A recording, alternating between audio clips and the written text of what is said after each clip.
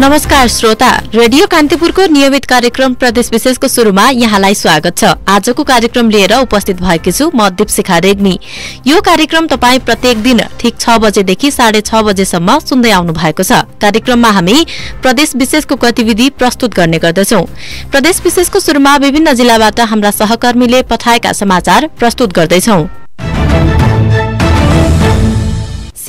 डलरको प्रलोभन देखाएर ठगी गर्ने तीनजनालाई प्रहरीले नगद सहित पक्राउ गरेको छ। ठगी गरेको रकम अठार लाख नेपाली रुपियाँ सहित तीनजनालाई गोलन्जोर गाउँपालिका छको हैवारबाट पक्राउ गरिएको र अझै एकजना फरार रहेको प्रहरीले जनाएको छ।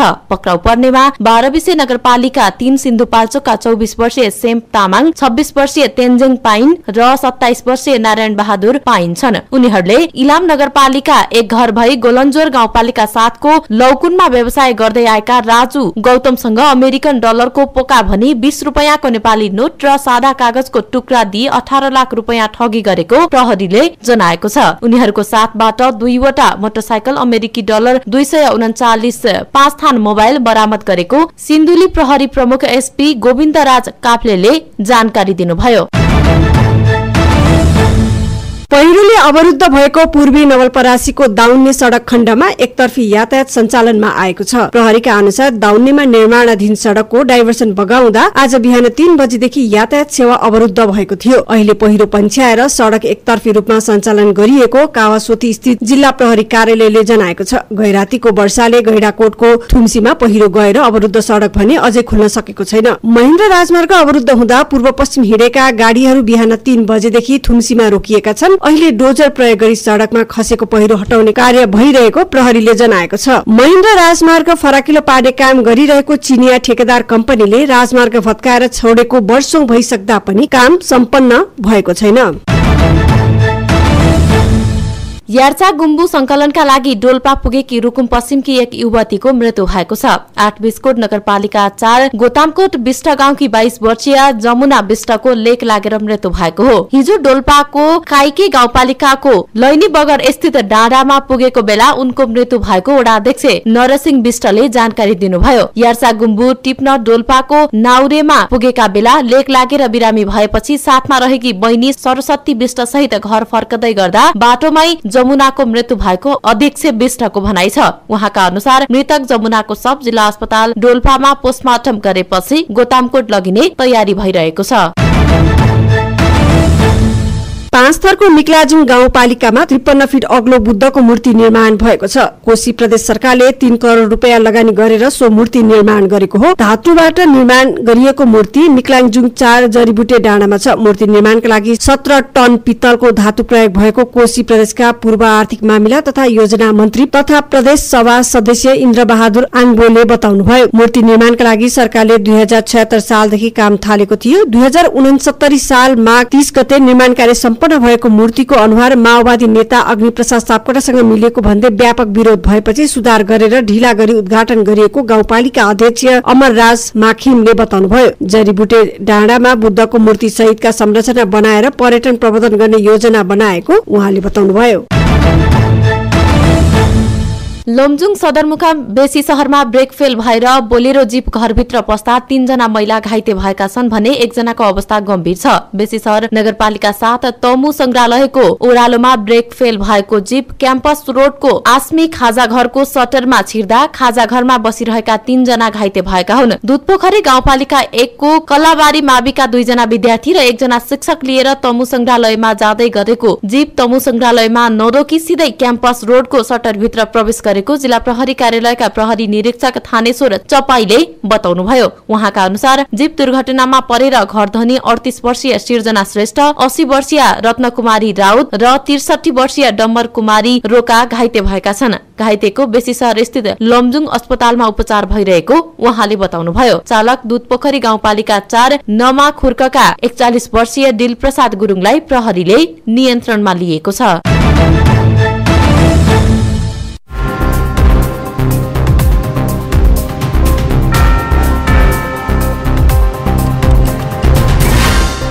विभिन्न जिल्लाका समाचारपछि प्रदेश विशेषमा अब लुम्बिनी प्रदेशतिर लागौं। आँखामा देखिने मोतियाबिन्दु जलबिन्दु दृष्टि दोष समस्या भएकाहरूको संख्या ग्रामीण भेगमा अझै पनि अत्याधिक छ। रोग लुकाएर बस्नेहरू समयमै आँखा अस्पतालसम्म नपुग्दा अन्तोपनको अन्धोपनको शिकार हुने गरेका छन्। आँखामा देखिने रोगहरूको समस्या समाधानका लागि पाल्पाका कतिपय स्थानीय तहले सक्रियता देखाउन थालेका हुन्। पाल्पाको रिब्दीकोट गाउँपालिकाले पछिल्लो समय यस्तै सक्रियता देखाएको छ। थप विवरण सहित पाल्पा सहकर्मी माधव परियाल पाल्पाको रिब्दीकोट गाउँपालिका पाँच कुसुम खोलाकी नब्बे वर्षीय धनी सिङ्जाली मगरले वर्षौं पछि आँखाले देख्न पाएकामा औधी खुसी हुनुभयो। उमेरले नेटो काटे पनि उपचार गर्न तानसेन र भैरवा जान नसकेर अहिलेसम्म अध्यारोमै बस्नु भएको थियो। फेरि आँखा देख्न पाउँदा निकै खुसी लागेको उहाँले बताउनुभयो। स्वास्थ्य चौकीसम्म पुगेर आँखा जाँच गराउनु भएकी उहाँलाई शल्यक्रिया गरेपछि देख्न सक्नु भएको छ। बुढ्यौलीमा पुनः खुसी मिलेको सिङ्जालीको भनाइ छ। राम्रो भएछ अपरेसन गर्न पाइयो। नब्बे वर्षको बुढी म भन्दा अरू बुढी कोही भएन यहाँ। सन्चो भयो आँखा सिमेन्टमा जान सकिनँ म आएको हुनाले म यहाँ आइपुगेँ। वर्षौंदेखि आँखा राम्रोसँग देख्न नसक्नु भएकी रिब्दीकोट गाउँपालिका आठ फेककी मिना घरतीले उज्यालो देख्न पाउँदा खुसीले हर्षका आँसु खसाल्नुभयो। शल्यक्रिया गर्न रिब्दीकोटको कुसुम खोला पुग्नु भएकी उहाँले उज्यालो देख्न पाउँदा गाउँपालिका र चिकित्सकलाई धन्यवाद नदिइरहन सक्नु भएन। उहाँले पनि धेरै वर्षदेखि आँखाले देख्न छाड्नु भएको थियो। शल्यक्रिया गरेपछि देख्न पाउँदा खुसी नहुने कुरै भएन। गाउँपालिकाले निशुल्क शल्यक्रिया गरेपछि दुवै आँखाले देख्न सक्ने भएको घरतीको भनाइ छ।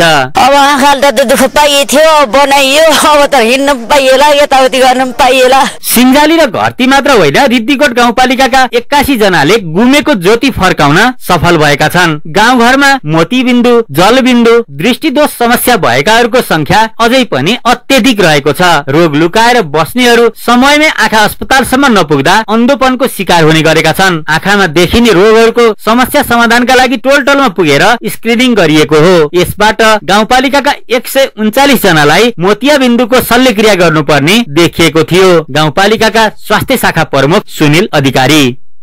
गाउँपालिकाको आठवटै वडाको अठारवटा ठाउँमा हामीले मोतिया बिन्दु अपरेसनको लागि स्क्रिनिङ क्याम्प राखेका थियौँ जसमा सम्पूर्ण विद्यालयका विद्यार्थीहरू लगायत आम नागरिकहरूको लागि हामीले टोल टोलमा पुगेर उहाँलाई पाइक पर्ने ठाउँमा बोलाएर जुन एउटा शिविर सञ्चालन गऱ्यौँ त्यो शिविरबाट करिब बाहन्न सय भन्दा माथि यहाँका विद्यार्थी र नागरिकले गरेर सेवा लिनु भएको छ। ती मध्ये करिब करिब हजार जनालाई हामीले निशुल्क रूपमा चस्मा वितरण गर्यौँ भने करिब करिब एक सय चालिस भन्दा माथिको मोतिया बिन्दु अपरेसन गर्न पर्ने व्यक्तिलाई छनौट गरी खुसुङ खला स्वास्थ्य चौकीमा ल्याएर हामीले निशुल्क रूपमा सबैको मोतिया बिन्दुको अपरेसन गरेका छौँ। आँखा रोगी प्रकृतिका आधारमा विशेषज्ञ गाउँमै बोलाएर जाँच मात्र होइन निशुल्क शल्यक्रिया गरिएको छ। जसले गर्दा ग्रामीण भेगका बासिन्दा लाभान्वित भएका छन्। ज्येष्ठ नागरिकमा मोतीबिन्दुको समस्या बढी छ। यो बाहेक जलबिन्दु दृष्टिदोषका साथै प्रेसर सुगरले पनि आँखामा समस्या देखिन थालेका छन्। भौगोलिक विकटताका कारण गाउँबाट सदरमुकामसम्म आउन जान समस्या हुन्छ। यस्तो समस्यालाई मध्यनजर गर्दै रिद्धिकोट गाउँपालिकाले आँखाको उपचार गाउँमै गर्ने व्यवस्था गरेको हो। उपचार र आवश्यक भएकाहरूलाई शल्यक्रिया गर्ने व्यवस्था गाउँमै राखेपछि बिरामीलाई सहज भएको छ। गाउँपालिकाका अध्यक्ष नारायण बहादुर कार्की। असाध्यै चाहिँ खुसी हुनुहुन्छ। यही आफ्नै गाउँ घरमा आफ्नै चाहिँ टोल मोहल्लामा चाहिँ यति लामो समयदेखि नदेखिरहेको आँखा देखिने गराइदिएकोमा सबै नागरिकहरूले हामीलाई चाहिँ आशीर्वाद दिइरहेको हामीले महसुस गरेका छौँ। यो वास्तवमा चाहिँ रिब्दीकोट पालिकावासी आदरणीय जनसमुदाय अथवा चाहिँ नागरिकहरूको खुसी नै रिब्दीकोट पालिकाको सन्तुष्टि हो भन्ने अभियानलाई हामीले प्रमाणित गर्ने प्रयास गरिरहेका छौँ। जलबिन्दु लगायत अन्य समस्याले दृष्टिदोष हुनेहरू पनि भेटिएका छन्। महँगो यातायात भाडा र बास बसेर उपचार गराउन नसक्नेहरूका लागि गाउँमै आँखा जाँच साथै शल्यक्रिया समेत गर्न पाउँदा नागरिकहरू खुसी भएका छन्। गाउँपालिकाले नेपाल नेत्रज्योति संघ पाल्पा लायन्स लाकौल आँखा अस्पतालको सहकार्यमा टोल ओडासम्म पुगेर स्क्रिनिङ गरेको हो। गाउँपालिकाले आँखाको ज्योति गुमाएकाहरूलाई संसार देखाउने प्रयास गरेको हो। रिब्दीकोटले जस्तै अन्य स्थानीय तहले समय समयमा गाउँमा शिविर राख्ने र शल्यक्रिया गर्ने व्यवस्था मिलाउने हो भने भौगोलिक विकटता विपन्नताका कारण दृष्टि गुमाउनु पर्ने थिएन। रेडियो कान्तिपुरका लागि माधव रिब्दीकोट गाउँपालिका पाल्पा।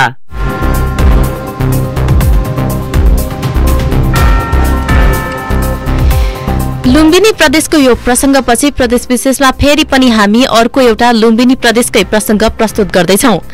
साल झण्डी सन्धि खर्क ढोरपाटन सड़क निर्माणको काम सुस्त गतिमा भइरहेको छ। विगत तेह्र वर्षदेखि निर्माणाधीन सो सड़क नेपालको एकमात्र शिकार आरक्षण बागलुङको ढोरपाटनमा शिकार खेल्न आउजाउ गर्ने विदेशी पर्यटकलाई सहजतासँगै पहाड़ी जिल्लाको ग्रामीण भेगलाई तराईसँग पहुँच पुर्याउने उद्देश्यले निर्माण भएको हो। हालसम्म सड़कको प्रगति पच्चीस प्रतिशत मात्रै सम्पन्न भएको छ। दुई सालबाट शुरू भएको सो सड़क खण्ड योजना एक सय सन्तानब्बे किलोमिटर खण्ड मध्ये अहिलेसम्म अठार किलोमिटर मात्रै कालोपत्रे भएको छ। अर्घाकाची सदरमुकामको चुत्रा देवेसी बगा- बजार क्षेत्रमा विवाद भएपछि ट्र्याक नै खुल्न सकेको छैन। सड़कमा अहिलेसम्म दुई अर्ब सत्तरी करोड़ रूपियाँ लगानी भइसकेको छ।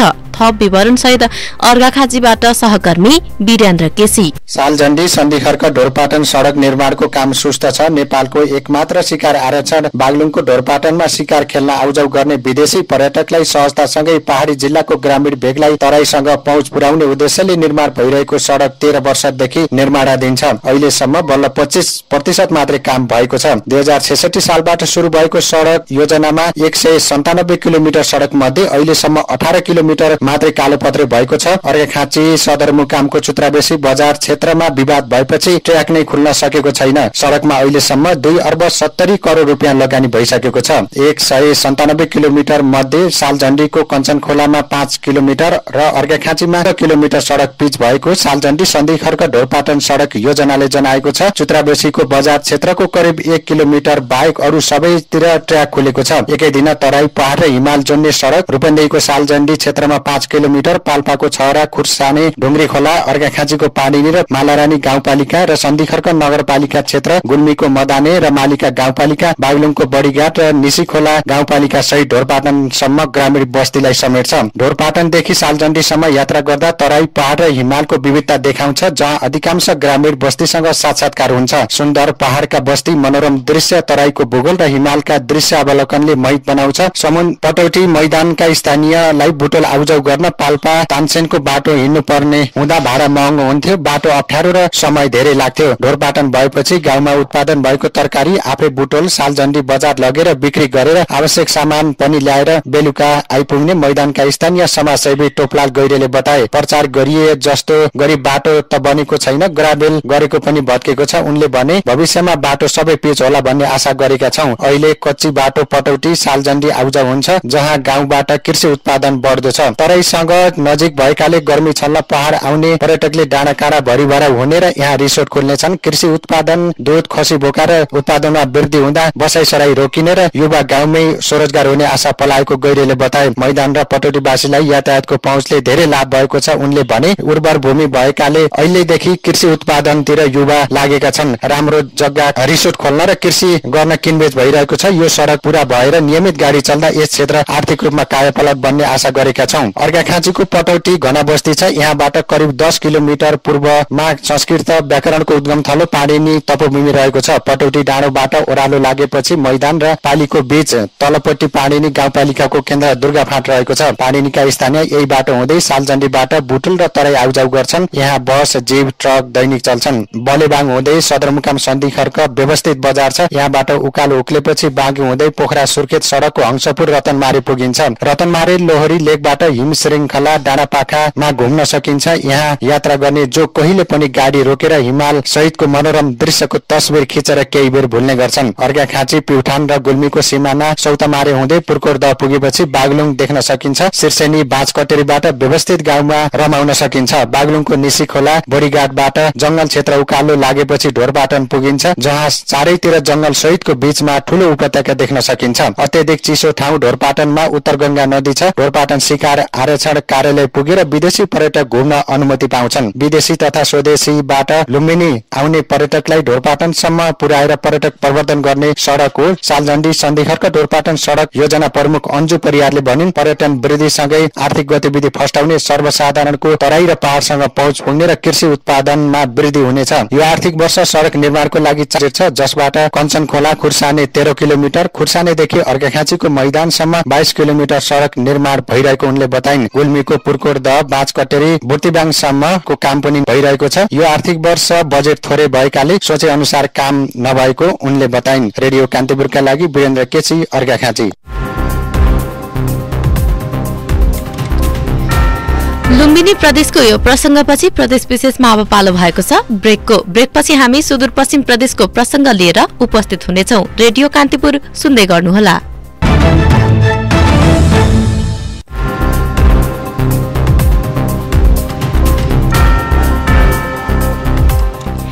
ब्रेकपछि यहाँलाई पुनः स्वागत छ। तपाईँ अहिले रेडियो कान्तिपुरको नियमित कार्यक्रम प्रदेश विशेष सुनिरहनु भएको छ। कार्यक्रममा अब हामी सुदूरपश्चिम प्रदेशको प्रसंग प्रस्तुत गर्दैछौ। आमदानीको स्रोत बनाउँदै व्यावसायिक पोल्ट्री फार्म मार्फत एक युवकले बजारमा बजाङमा पोल्ट्री फार्म भित्र्याएका छन्। आफन्तसँग पचास हजार सापट्टि मागेर स्थानीय नरेन्द्र खड्काले कुखुरा पालनलाई आमदानीको स्रोत बनाउँदै जिल्लामा भित्र्याएका हुन्। जय पृथ्वी नगरपालिका नौ रिठापाटाका नरेन्द्रले व्यवसाय शुरू गर्दा गर्दै बझाङ सदरमुकाम चैनपुरमा कुखुराको कुनै निश्चित मूल्य नै थिएन तर बिस्तारै गाउँ गाउँबाट कुखुराको माग आउन थालेपछि आफैले पालेर बजाङको माग धान्न नसक्ने अवस्था हुने भएपछि नरेन्द्रले स्थानीय युवालाई व्यवसायमा जोड्न थालेसँगै अहिले बजाङले प्रति वर्ष नौ सय मेट्रिक टन कुखुराको मासु उत्पादन गरिरहेको र पैंतालिस हजार भन्दा बढी कुखुरा उत्पादन हुने गरेको छ। उनले सञ्चालन गर्दै आएको पोल्ट्री फार्ममा करिब चार सय जना भन्दा बढी स्वरोजगार छन्। थप विवरण सहित बझाङबाट सहकर्मी बसन्त प्रताप सिंहको रिपोर्ट। बझाङका नरेन्द्र खड्का तेह्र वर्ष अघि वैशाख तेस्रो सता कैलाली पुग्दा धनगढी बजार हप्प। तातेको थियो। गर्मीको प्रवाह नगरी बिहानैदेखि कुखुराको खोजीमा निस्किएका उनी असिन पसिन देखिन्थे। मध्य दिनमा अतरियाको एउटा फर्मबाट पन्ध्र पन्ध्रवटा बोइलर र लोकल कुखुरा किने बाँसको छतको टोकरीमा हालेर बसको छतमा चढाए। बजाङ फर्किँदा कुखुरा मर्लान् कि भन्ने चिन्ता थियो। बस रोक्ने बित्तिकै फुत्त झरेर छतमा उक्लिहाल्थे। सबै कुखुरा जिउँदै देखेपछि मात्रै मन ढुक्क हुन्थ्यो। चैनपुरसम्म कुखुरा जिउँदै पुग्छन् कि नै भन्ने चिन्ता थियो। पहिलो पटक कुखुरा व्यवसाय शुरू गर्दाको अवस्था अवस्था सम्झिँदै नरेन्द्रले भने भोलिपल्ट सबै कुखुरा जस्ताको त्यस्तै चनपुर पुर्याएपछि मात्रै बल्ल सन्तोषको सास फेरेको उनले सुनाए। उनको चिन्ताको कारण थियो केही गरी कुखुरा मरिहाले ऋण कसरी तिर्ने। आफन्तसँग पचास हजार सापट्टि मागेर उनी व्यवसाय शुरू गर्दै थिए। त्यति बेला बझाङमा बोइलर कुखुरा पालन हुने गरेको थिएन। तराईका बोइलर ल्याएर पहाड़मा बेच्छु भनेर सुनाउँदा घरकै मान्छे पनि उडाउँथे। उनले भने ऋण गरेको पैसा नहुने काममा लगानी गरेर डुब्छ भन्ने चिन्ता घरकालाई थियो। जय पृथ्वी नगरपालिका वडा नम्बर नौका नरेन्द्र त्यति बेला चौबिस वर्षका थिए। दुई हजार एकसठी सालमा धनगढ़ीबाट सिएमए पास गरिसकेपछि उनी काम खोज्दै काठमाडौँका गल्ली गल्ली भौतारिएका थिए। बिएड भर्ना भएका उनले राजधानीमा टिक्न निकै सङ्घर्ष गर्नु परेको थियो। पढाइ चल्दै गर्दा एउटा क्लिनिकमा काम पाए मासिक एघार हजार तलबका लागि बिहान आठदेखि राति आठ बजेसम्म काम गर्नु पर्थ्यो यसैबीच बुवाको निधन भएपछि उनी घर फर्किए अनि आफ्नै व्यवसाय शुरू गरे। उनले व्यवसाय शुरू गर्दा चैनपुरमा कुखुराको निश्चित मूल्य नै थिएन। एक डेढ किलोको कुखुरालाई चार हजारसम्म तिरेर किनबेच हुने गरेको थियो। कुखुराको मासु पाउने पसल त जिल्लामा एउटा पनि थिएन। धेरैले बजारमा कुखुराको मासु नै नपाउने समस्या छ भन्ने गर्थे। मैले त्यही समस्यालाई अवसर बनाउन सक्छु कि भन्ने सोचे। नरेन्द्र भन्छन् कुखुरा लिएर धनगढ़ीबाट बजाङ जानुभन्दा पहिले नै उनले चैनपुरको लोकतान्त्रिक चोक नजिक जग्गा भाडामा लिएर टिनको टहरो बनाएका थिए। त्यही टहराबाट चार सय रुपियाँ किलो बोइलर र एक हजार रुपियाँ प्रति किलो लोकल कुखुराको मासु बेच्न शुरू गरे। एक किलो हाराहारेको कुखुराको तीन चार हजार तिरेर मासु खाइरहेका बेला चार सयमा एक किलो मासु भनेपछि किन्नेको भिड लाग्न थाल्यो। पहिलो पटक ल्याएका कुखुरा त दुई दिनमै सकियो उनले भने। त्यसपछि भने नरेन्द्रले फर्केर पछाडि हेर्नु परेन। राम्रो बिक्री हुन थालेपछि आफ्नै जग्गामा खोर बनाएर पोल्ट्री शुरू गरे। उनले यो काम गर्दा पनि धेरैले उडाए। बजाङ जस्तो चिसो ठाउँमा बोइलरका चल्ला कसरी हुर्केलान् भनेर उनलाई धेरैले निरुत्साहित गरे। परिवारका सदस्यलाई काम लगाएर उनले व्यवसाय विस्तार गर्दै गए। गाउँ गाउँबाट कुखुराको माग आउन थालेपछि आफैले पालेर बजारको माग धान्न नसक्ने अवस्था हुन थाल्यो। त्यसपछि नरेन्द्रले स्थानीय युवालाई व्यवसायमा जोड्न थाले। उधारोमा चल्ला र चारो दिने अनि कुखुरा पाल्ने तरिका पनि सिकाइदिने गरे। नरेन्द्र भन्छन् उनीहरूले उत्पादन गरेका कुखुरा बिक्री भएनन् भने आफैले खरिद गरिदिन थाले। दुई हजार चौरात्तर सालसम्म नरेन्द्रकै फर्ममा प्रत्यक्ष काम गर्नेहरू बाइस जना पुगे भने उनीसँग सहकार्य गरेर पोल्ट्री व्यवसाय गर्नेको संख्या एक सय पचास भन्दा बढी पुग्यो। एउटा कुखुरा खोज्न पनि दिनभर चाहर्नु पर्ने बझाङ दुई हजार छ्यात्तरसम्म आइपुग्दा कुखुराको मासुमा आत्मनिर्भर हुन पुग्यो। एक दुई वर्ष त बझाङमा बढी भएर यहाँका कुखुरा डडेलधुरा अछाम डोटी बैतडी र दार्चुल्ला पनि पठायौं। भेटेनरी अस्पताल तथा पशु विज्ञ सेवा केन्द्र बझाङका पशु विकास अधिकृत कर्णबहादुर खड्का भन्छन् पोल्ट्रीमा बझाङले गरेको यो प्रगतिका पछाडि नरेन्द्रको ठूलो हात छ। उहाँले आफूले मात्र काम नगरेर अरूलाई पनि यो व्यवसायमा लाग्न थुप्रै सहयोग गर्नुभएको छ। अहिले बझाङले प्रति वर्ष नौ सय मेट्रिक टन कुखुराको मासु उत्पादन गरिरहेको र पैंचालिस हजार भन्दा बढी कुखुरा उत्पादन हुने गरेको उनले बताए। अहिले जिल्लाभर दुई सय पचास बढी पोल्ट्री व्यवसायी र पचास भन्दा बढी कुखुराको मासु पसल सञ्चालनमा छन्। यी सबै गरेर चार सय जना भन्दा बढी स्वरोजगार छन्। रोजगार नपाएर भौतारी रहेको थिए नरेन्द्रले नै यो काम गर्दा राम्रो हुन्छ भनेर काम गर्न सहयोग गर्नुभयो। अहिले वर्षमा तीस चालिस लाखको कुखुरा बिक्री गर्छु। दुर्गाथलीको मौरी बगरमा पोल्ट्री फर्म व्यवसाय गरिरहेका बसन्त बुढा थापाले भने बजाङ र धनगढ़ीमा गरी पाँच ठाउँमा पोल्ट्री फर्म चलाइरहेका नरेन्द्रले जिल्लाभरिका एक सय पचास बढी फार्मलाई चारो औषधि र औजार बिक्री समेत गरिरहेका छन्। आगामी दिनमा बजाङमा उन्नत प्रविधियुक्त पोल्ट्री फर्म खोल्ने तयारीमा छन्। सामाजिक सेवामा पनि सक्रिय नरेन्द्र भन्छन्। मलाई यही पेसाले उठाएको हो। बाँकी जीवन पोल्ट्री व्यवसायमा नै बिताउने सोचेको छु। प्रदेश विशेषका लागि बसन्त प्रताप सिंह बजाङ।